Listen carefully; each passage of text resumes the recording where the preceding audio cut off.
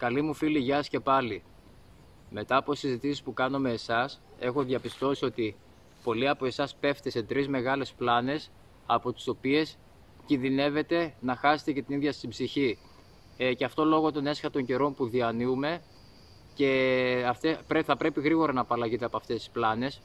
Γι' αυτό αποφάσισα να κάνω ένα βίντεο, να σας επισημάνω ποιες πλάνες είναι αυτές και για ποιο λόγο μπορεί να είναι καταστροφικές για την ψυχή σας. Πάμε!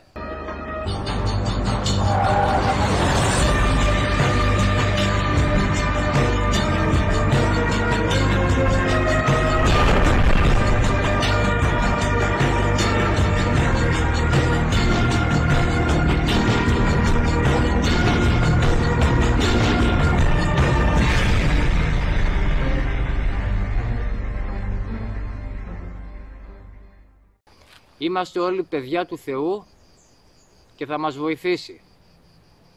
Μέγα λάθος και αυτό, δεν είμαστε παιδιά του Θεού. Αν διαβάσετε τη γένεση, ο Θεός λέει δημιούργησε τον άνθρωπο. Είμαστε δημιουργήματα του Θεού. Τώρα από εκεί και πέρα ε, η Αγία Γραφή χωρίζει τους ανθρώπους σε τρεις κατηγορίες. Πρώτον, τους χωρίζει στους κλητούς, στους κεκαλεσμένους. Ε, θα σας διαβάσω λίγο το εδάφιο για να καταλάβετε τι εννοώ. Πλάνη νούμερο 2.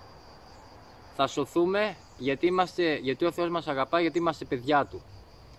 Εδώ θέλω να τονίσω ότι η γένεση γράφει ότι ο Θεός δημιούργησε τον άνθρωπο, άρα είμαστε δημιουργήματα του Θεού και όχι παιδιά Του ακόμη.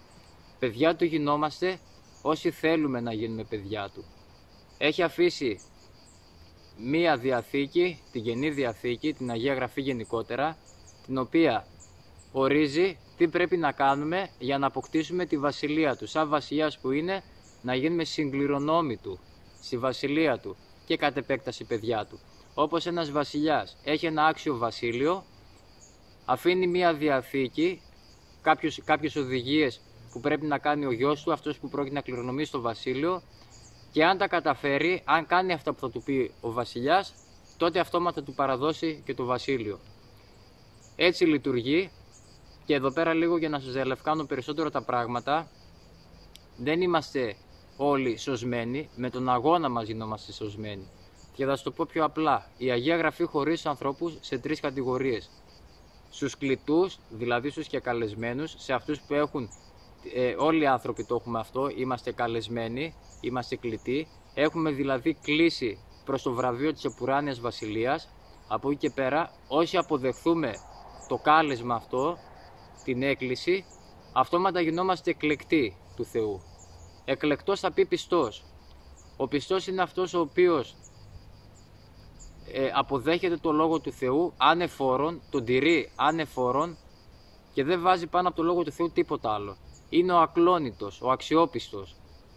Αυτός εδώ είναι ο πιστός. Μόνο αυτοί οι άνθρωποι θα σωθούν, θα κερδίσουν την επουράνια βασιλεία. Οι κλητοί όχι, γιατί κλητοί είμαστε όλοι. Εδώ μας αναφέρει το κατά Ματθαίον Ευαγγέλιο, ανοίξτε διαβάστο, κεφάλαιο 22 στίχος 14. Πολλοί είναι οι καλεσμένοι, αλλά ολίγοι είναι οι εκλεκτοί, δηλαδή οι πιστοί.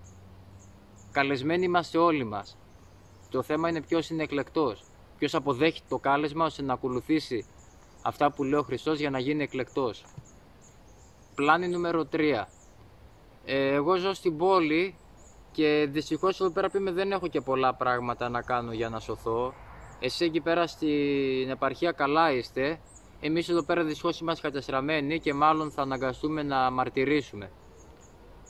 Εδώ πέρα δεν ξέρω παιδιά, όταν ακούω κάτι τέτοια δεν ξέρω αν πρέπει να κλάψω ή να γελάσω, να σου πω την αλήθεια.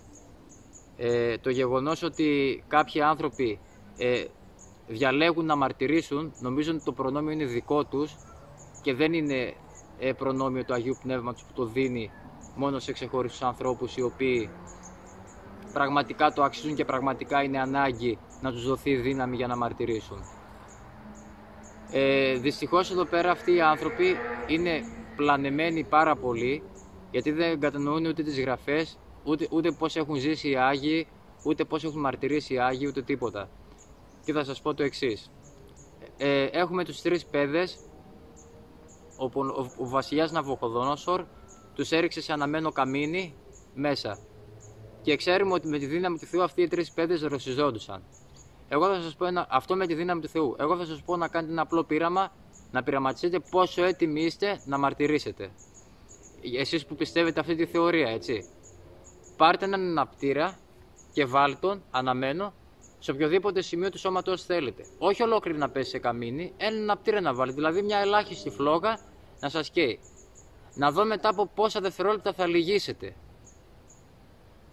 Αυτό το πείραμα να το κάνετε για να δείτε ότι δεν είστε έτοιμοι να μαρτυρήσετε και δεν πρέπει να θεωρείτε τους αυτούς έτοιμους να μαρτυρήσετε. Γιατί το προνόμιο δεν είναι δικό σας. Είναι εγωιστικό να λες εγώ θα μαρτυρήσω. Το μαρτύριο το δέχεσαι, το κάνεις όταν δεν υπάρχει άλλη λύση. Όταν σε έχουν πιάσει, σε έχουν δέσει τα χέρια και τα πόδια, σε έχουν βάλει τη θηλιά στο λαιμό και σε λένε ή το χάραγμα ή θάνατος. Τότε ο Θεός θα δώσει τη δύναμη και μόνος σε αυτή την ανάγκη σε μια μεγάλη ανάγκη θα δώσει τη δύναμη ο άνθρωπος να μαρτυρήσει αφού βάλει τη θέληση. Διαφορετικά χαιρέτα μου τον πλάτανο. Θα χάσει την ψυχή σας και ότι θα το καταλάβετε. Και να σας το πω και με άλλα λόγια.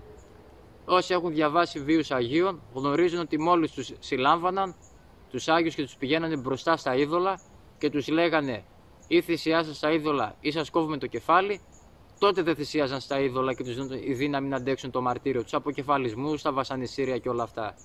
Αλλιώς με αυτή τη λογική, ρε παιδιά, να βγαίνουμε έξω και να λέμε Είμαστε χριστιανοί, κάντε μας να μαρτυρήσουμε. Εντάξει, ας είμαστε λίγο σοβαροί, έτσι. Ξαναεπαναλαμβάνω, το μαρτύριο, η δύναμη να μαρτυρήσει ένας άνθρωπος είναι προνόμιο του Θεού, είναι καρπός του Αγίου Πνεύματος και μη γεννάει το μυαλό σας ιδέες για να αποφύγετε την πραγματικότητα, να μην δράσετε και να μείνετε στην αδράνειά σας, γιατί δεν θα, σας, δεν θα σας δοθεί δύναμη να μαρτυρήσετε. Νομίζετε, εμένα δεν μπορείτε ρε παιδιά να κοροϊδέψετε, το Θεό θα κοροϊδέψετε. Το μόνο που καταφέρει να κοροϊδέψει είναι ο ίδιος ο εαυτός. Αυτό πρέπει να το καταλάβετε και να αλλάξει σκεπτικό. Και ξεκινήστε επιτέλους να κάνετε κάτι για να απαλλαγείτε από το σύστημα. Γιατί το σύστημα κάποια στιγμή δεν θα, θα σφίξει τόσο πολύ τον κλειό που κανείς δεν θα μπορεί να αγοράσει να πουλάει συνεπώς γιατί αν δεν μπορείς να αγοράσεις και να πουλάς, δεν θα μπορείς να καλύψεις βασικές ανάγκες. Αν δεν έχει το χάραγμα. Καταλάβατε; Αυτά είχα να σας πω φίλοι μου για αυτό το βίντεο. Ελπίζω αυτά που σας είπα να σας βοήθησαν. Ε, και αν έχετε υποπέσει σε μία από αυτές τις πλάνες, κοιτάξτε να το δουλέψετε λίγο μέσα στο μυαλό σας με την Αγία Γραφή στο χέρι και με βίους Αγίων για να απαλλαχθείτε γρήγορα από αυτές τις πλάνες γιατί ε, με αυτές τις πλάνες το μόνο που καταφέρετε είναι να χάνετε χρόνο, να ασχοληθείτε με τον εαυτό σας, να αγωνιστείτε ε, για να καταφέρετε να σωθείτε, να σώσετε την ψυχή σας. Θα σας, θα σας, σαν τελείωμα, σαν εκκλείσιμο του βίντεο, θα σας διαβάσω ένα εδάφιο για να γίνει πιο κατανοητό, πιο κατανοητή η τρίτη πλάνη.